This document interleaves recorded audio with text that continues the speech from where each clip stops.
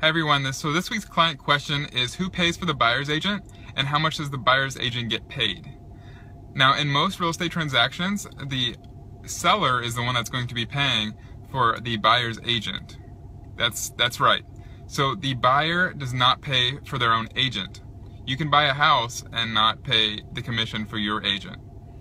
Um, and how much is that commission going to be? Well, that's negotiated.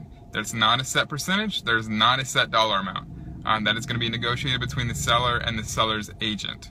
So I hope that answers that question. If you have any more questions, put them in the comments below or you can send them to me privately through my contact information in the post. Thank you for watching and I will see you next week.